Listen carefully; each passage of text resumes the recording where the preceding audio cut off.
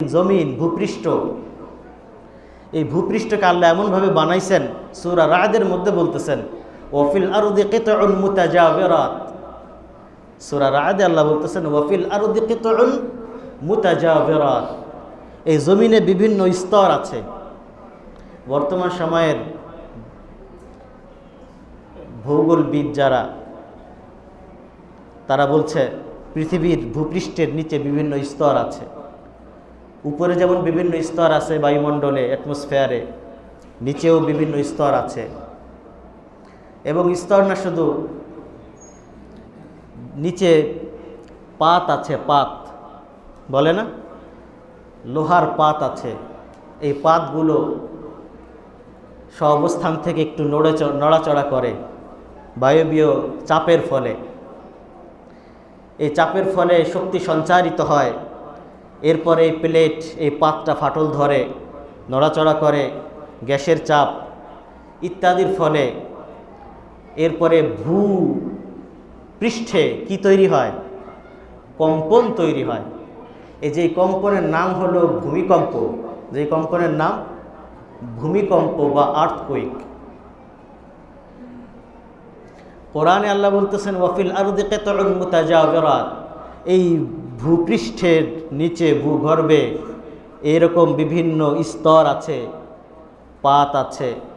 সাজায় রাখছেন আল্লাহ। সমাজবিজ্ঞানের ভাষায় এটার নাম হলো টেকটনিক প্লেট। এই টেকটনিক প্লেট, এটা নড়ে চেড়ে উঠছে তুরস্কে এবং কোথায়? সিরিয়ায়। যেই তুরস্কে এবং সিরিয়ার মধ্যে এই টেকটনিক প্লেট যে নেড়ে উঠেছে এবং যার ফলে ভূপৃষ্ঠের উপরে কম্পন তৈরি হয়েছে।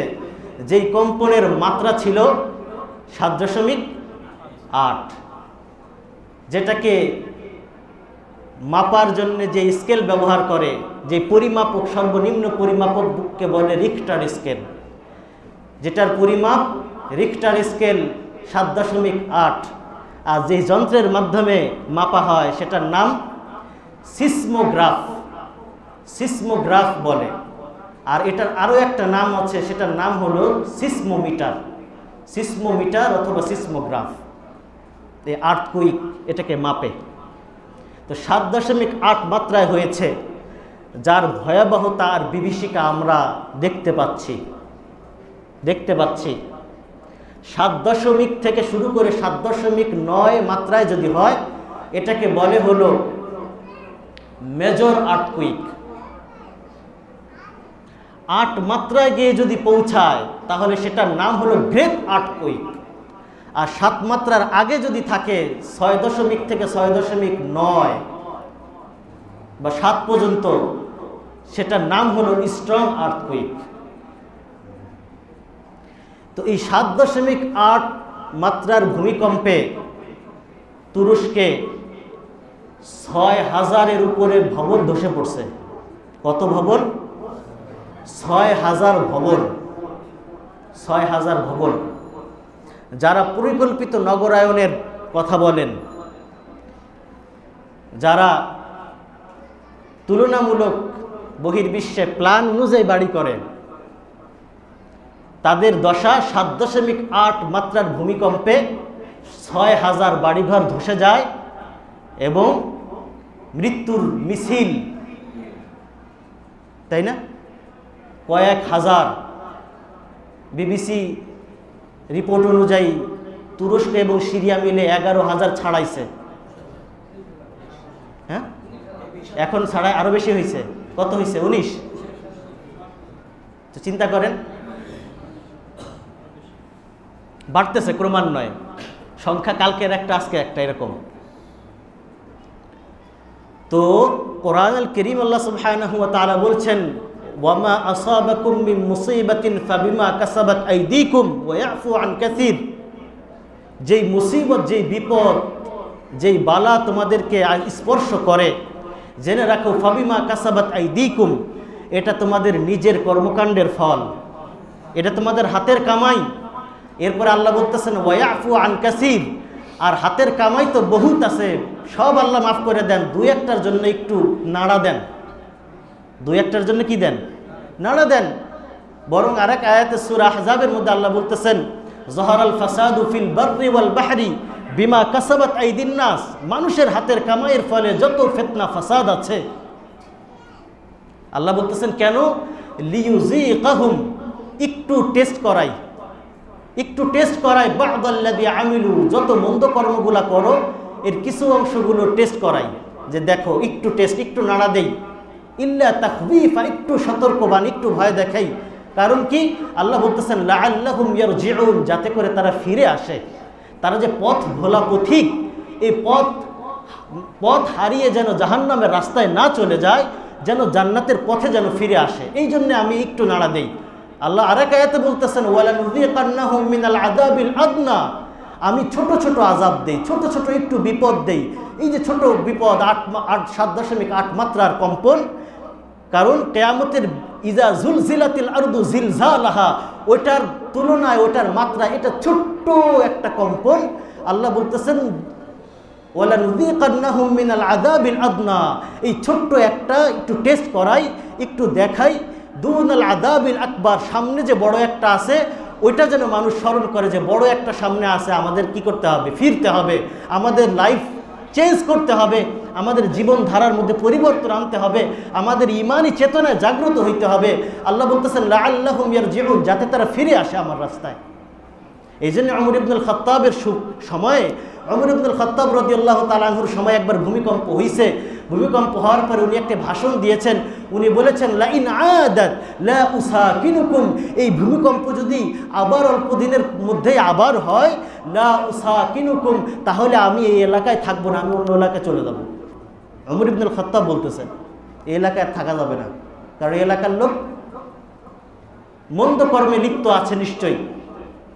এই জন্যে এই জন্যে প্রখ্যাত সাহাবি কাব কাব ইবনে আহবার, এই কাব আল আহবার বলতেছেন, সাহাবি কথাও হাদিস, এই কাব আল আহবার বলতেছেন যে, ইন্নামা তুজুল জিলাল অর্দু ইদা উমিলা ফিহা আল মাআসি কাব আল বলছেন যে ইন্নামা তুজুল জিলাল আর্দু, জমিনের মধ্যে কম্পন তৈরি করা হয়, ইদা উমিলা ফিহা আল মাআসি, যখন এই ভূগর্ভের উপরে মন্দ কাজ, অশ্লীল কাজ, মহান রবের নাফরমানি করা হয়। কেন কম্পন হয়? ফেতার রুদু ফারাকান মিনার রব্বি, যেই ভূ গর্ভে ভূপৃষ্ঠের উপরে অন্যায় চলে অন্যায় চলে, অবিচার চলে, ফেতনা চলে, ফাসাদ চলে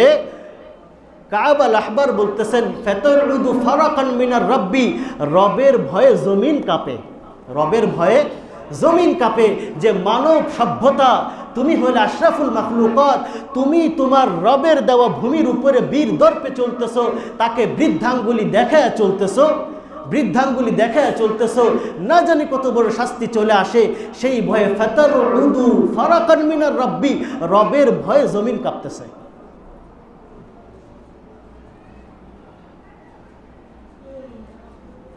এই যে যে মুসিবত, এই যে যে আল্লাহ সুবহান তালার নিদর্শনাবলী আমাদের সামনে আসে শিক্ষা গ্রহণের জন্যে, অনুধাবনের জন্যে, আর যদি আর যদি এটা আমাদের সামাজিক প্রেক্ষাপট, বাংলাদেশের অবকাঠামোর যে রূপরেখা, সেটার আলোকে যদি আমরা একটু চিন্তা করি, মহান রাবের হুকুমে ইশারায় সব ঘটে, তদুপরি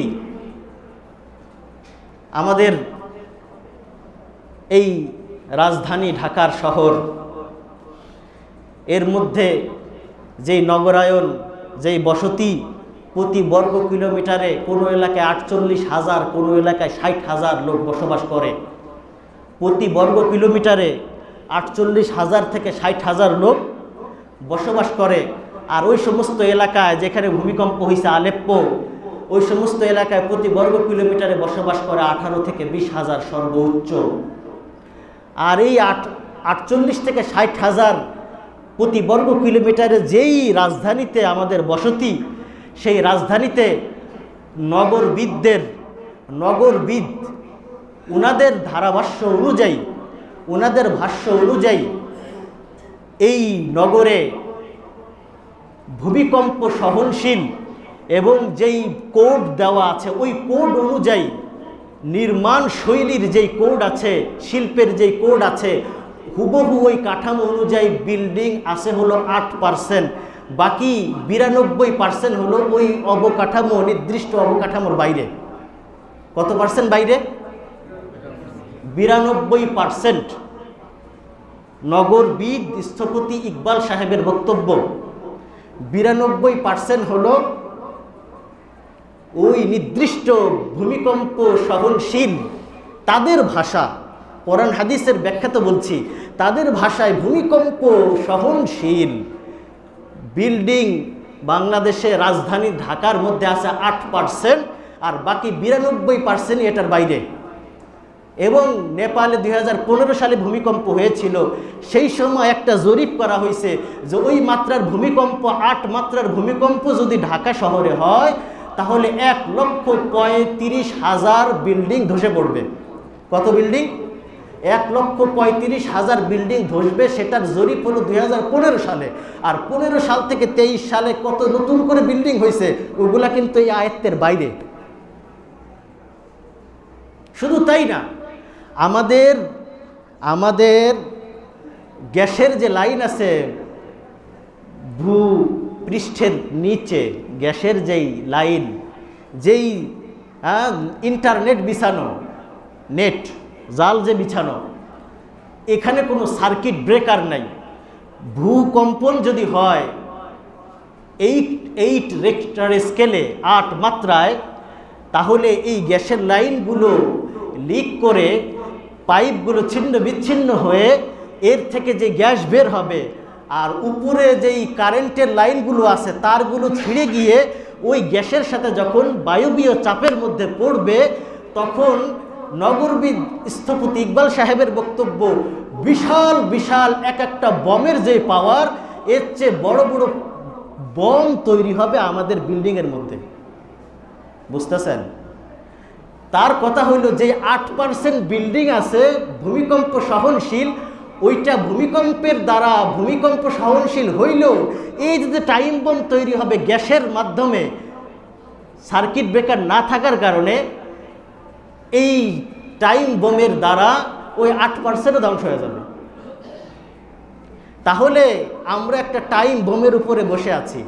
টাইম বোমের উপরে, বিশাল বমের উপরে, আগ্নেয়গিরির উপরে আমরা বসে আছি।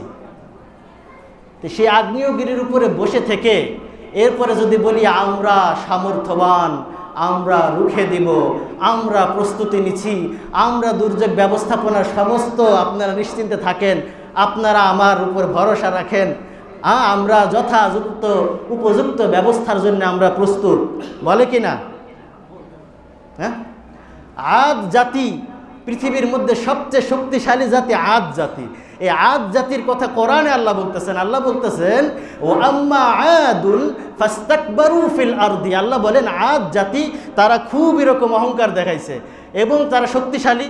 এরা বলছে কি, মন আসাদ্দ মিন্না কুয়া মন আসাদ্দ মিন্না কুয়া আমাদের চেয়ে শক্তিশালী কে আছে? কাউরেই তো দেখি না। বলে না? এই এলাকায় আমি তো কাউরে দেখি না, আমার ফেস করবে। এলাকা এরকম বলে না? যে আমরা ফেস করার মতো লোক এই এলাকায় তো দেখি না। তো এরকম আদ জাতি বলে, মন আসাদ্দমিন্না কুয়া আমাদেরকে ফেস করবে এমন কে আছে? আল্লাহ বলতেছেন, আওয়ালাম ইয়ারাও তারা কি একটু দেখে না, একটু তাকায় দেখে না? আল্লাহ আল্লাহ দিয়ে খালা কহুম যে আজ জাতিকে আল্লাহ বানাইছেন হু আসাদ্দমিন হুম কুয়া সেই আল্লাহ কত শক্তিশালী? এটা কি তারা দেখে না? যে আজ জাতিরা বানাইলো কে? তো, যে কথা বলতেছি, যে এই এটা হলো আমাদের আমাদের নগরায়নের অবস্থা। কিন্তু যে অবস্থায় থাকি না কেন, যে অবস্থায় থাকি না কেন, আল্লাহ রব্বুল ইজ্জাতের বাণী হলো যে আল্লাহ সুবহানাহু ওয়া তাআলা এই নিদর্শনাবলী, সেটা ভূমিকম্পের মাধ্যমে হোক, টর্নেডোর মাধ্যমে হোক, টাইফুনের মাধ্যমে হোক, সুনামির মাধ্যমে হোক, ঘূর্ণিঝড়ের মাধ্যমে হোক, বজ্রাঘাতের মাধ্যমে হোক, আল্লাহ সুবহানাহু ওয়া তাআলা এটা আমাদেরকে সংশোধনের জন্য পাঠান আমাদেরকে ফিরে আসার জন্য তার পথে ফিরে আসার জন্য পাঠান। মিনাল আদনা দুনাল আকবার। সেই মহান রব যে বড় শাস্তি দিবেন, সেই শাস্তির আগে দুনিয়া একটু একটু দেখান আমাদেরকে যে সব কিছু মালিকের কথা শুনে এই ভূগর্ভ শুধু না, ভূপৃষ্ঠ না, সমগ্র আসমান এবং জমিনের মালিকানা তার এবং সমস্ত আসমান এবং জমিন তার কথায় উঠে বসে, তার কথা শুনে শুধু তাই না, কোরআনে আল্লাহ বলতেছেন ওয়ামা আমরুনা ইল্লা ওয়াহিদাতুন কালাম হেমবিল বাসার। আল্লাহ বলেন, আরে, আমার আদেশ তো চোখের পলক। তুমি চোখের পলক ফেলবা, আর সাথে সাথে আমার আদেশ বাস্তবায়ন। ওমা আমরুন ওয়াহিদা। একটা আদেশই যথেষ্ট। আর কেমন আদেশ? কালাম হেমবিল বাসার। এই আদেশের তুমি, তোমার অপেক্ষার টাইম নাই। অপেক্ষার টাইম নাই যে আমরা দেখব ভূমিকম্প কখন হইতেছে, আগের থেকে অ্যালার্মিং আসবে। হ্যাঁ কোনো অ্যালার্মিং নাই। বিভিন্ন জাতি এরকম পুরাণে পড়ে দেখেন বিভিন্ন জাতি রাত্রে ঘুমাইছে, শেষ। পুরো জাতি রাত্রেবেলা শেষ। এরা বলছে, দিনের বেলায় আমরা দেখব, মোকাবেলা করব। তো এই জন্যে আল্লাহ তাআলা এগুলো পাঠান সতর্ক বাণী মূলে মূলক। আমাদের এর থেকে শিক্ষা নেওয়ার জন্যে বরঞ্চ আল্লাহ সুবহানাহু বলতেছেন, কুল হুয়াল কাদিরু আলা আন ইয়াবআথা আলাইকুম আযাবাম মিন ফাওকিকুম মিন আল্লাহ বলেন কুল, হে নবী, আপনি জানায় দেন, হুয়াল কাদির, তিনি একমাত্র সক্ষম, তিনি শক্তিশালী। কি করতে? আলা আইয়াবআথা আযাবান মিন ফাওকিকুম উপর থেকে তোমাদের জন্য শাস্তি পাঠাবেন। আও মিন তাহতি আরজুলিকুম, পায়ের নিচ থেকে শাস্তি আসবে, পায়ের নিচ থেকে শাস্তি আসবে। এরপরে বলতেছেন উপর থেকেও আশা লাগে না, পায়ের নিচ থেকেও আশা লাগে না। আউয়াল বিসাকুম শিয়ান, নিজেদের মধ্যে দুইটা দল বানায় দিব। ওয়াইদিকা বাদুকুম বাসাবাদ আর দুই দলে মিলা তোমরা নিজেরা নিজেরা শক্তি পরীক্ষার নিমিত্তে মারামারি করে নিজেরা নিজেরা মোর ধ্বংস হবা। রাশিয়া কার মতো? ইউক্রেনের মতো। কোরআনের আয়াত দেখেন। আল্লাহ বলতেছেন আউয়াল বিসাকুম শিয়ান তোমাদেরকে আমি এইভাবে রেশারেশিতে লাগাই দিব, লেগে যাব তোমরা। এবং ওয়াইদিকা বাদুকুম বাসাবাদ এবং তোমরা যে নিজেরা নিজেরা যা বানাইছো, শক্তি সঞ্চয় করছ, এরপরে তোমরা একে মারবা ও তোমাদেরকে মারবে। আমার লাগবে না। আমি সিস্টেম করে দেবো। খালি নিজেরা নিজেরা মরবি। হ্যাঁ? আল্লাহ সুবহানাহু ওয়া তাআলার আল্লাহ সুবহানাহু ওয়া তাআলার এগুলা সৈন্য সৈন্য সৈন্য কোরআনে আল্লাহ বলতেছেন, ওয়ালিল্লাহি জুনুদুস সামাওয়াতি ওয়াল আরদ আসমান জমিনে যা কিছু আছে সব মহান রবের সৈন্য। সব মহান রবের সৈন্য, আমার এই আঙ্গুলটা আমার না, এটা মহান রবের সৈন্য। কেয়ামতের দিনে এই আঙ্গুল আমার বিরুদ্ধে সাক্ষী দিবে, এটা হলো রবের সৈন্য। রবের প্রত্যেকটা এরকম বিভিন্ন সৈন্য আছে, আমাদের সেটা গণনার মধ্যে নাই। আল্লাহ বলতেছেন, ওয়ামা ইয়ালামু জুনুদা রব্বিকা ইল্লাহু তোমার রবের কি পরিমাণ সৈন্য আছে, সেটা কেউ জানে না রব ছাড়া, কোনো ফেরেশতা জানে না কি পরিমাণ সৈন্য তার আছে, সুতরাং তার সৈন্য দিয়া একটা খেলা তিনি খেলে দিবেন। এজন্য আমরা যে বলি, আসো, আমরা খেলব। আসো, খেলব। নমরুদও ডাকছে কিন্তু ইব্রাহিমকে যে, ইব্রাহিম, আসো, খেলি। ইব্রাহিম, আসো, খেলি। আল্লাহ ওয়া ইব্রাহিমের সাথে খেলার জন্য, নমরুদের সাথে খেলার জন্য ইব্রাহিমকে পাঠান নাই। বড় বড় কিছু টর্নেডো, ভূমিকম্প পাঠান নাই। ইব্রাহিমের হ্যাঁ নমরুদের সাথে খেলার জন্যে প্রতিবন্ধী, পঙ্গু, ল্যাংড়া একটা মশা পাঠাইছে। প্রতিবন্ধী, ল্যাংড়া, পঙ্গু একটা কি? ইব্রা হ্যাঁ নমরুদ খেলতে চাও? ঠিক আছে, এই মশাটার সাথে খেলো। হ্যাঁ ফেরাউনও খেলতে চায়, আজকে হিরো আলমও খেলতে চায়। সেও কি চায়? সেও খেলতে চায়। তো এরকম ফেরাউনও খেলতে চাইছে, আল্লাহ সুবহানাহু ওয়া তাআলা পানির মাধ্যমে খেলে দিছে। তো এই জন্য এই ভূমিকম্পটা এই ভূমিকম্পটা আমাদের জন্য শিক্ষা। আমরা আমরা যেন ফিরে আসি, আর আমাদের নিজেদের অবস্থানের কথা চিন্তা করি যে আমরা কোন নগরীতে ও আগ্নেয়গিরির উপরে বসে আছি সুতরাং আমাদের ফিরে আসা দরকার, হৃদয়ের মধ্যে অনুশাসন অনুশোচনা দরকার, অনুধাবন দরকার। আল্লাহ রসুল হাদিসে বলেছেন যে ভূমিকম্প তখনই বেশি পরিমাণে হয় ইদা জহরাতিল কাইনাত ওয়াল মাআজিবু ওয়া তিনটা কারণের কথা হাদিসে বলেছেন। আল্লাহ রসুল বলতেছেন, যখনই গান বাজনা বেড়ে যায়, গান বাজনা এখন প্রত্যেকের পকেটে পকেটে, প্রত্যেকের হাতে হাতে মোবাইলে, আর প্রত্যেকটা অনুষ্ঠানে, বিবাহের অনুষ্ঠান, সুন্নাতে খাতনা থেকে নাক ফুটানো গান ফুটানো, প্রত্যেকটা অনুষ্ঠানে এখন বাজনা আর বাজনা চলতেছে। আর আল্লাহ রসুল বলতেছেন, ওয়াজাহারাতিল কাইনাত এবং নর্তকী গায়িকা, নায়িকাদের প্রভাব সমাজে বাড়বে। নায়িকা গায়িকাদের কাছে বিচারকরা ক্ষমা চায়, আর আলেমরা আলেমরা বিচারক ডান ডান্ডা বেরির মধ্যে থাকে। এটাই তো দেখা যাইতেছে। আল্লাহ রসুল বলতেছেন, নায়িকা গায়িকার প্রভাব বাড়বে আর সমাজে গান বাদ্য বাড়বে। ও অশুভ অসুরি বাতিল কুমুর সমাজের রন্ধ্রে রন্ধ্রে মাদক ছড়ায় যাবে। তো আল্লাহ সুবাহ তালা বুঝার আমল করার তৌফিক দান করেন বলি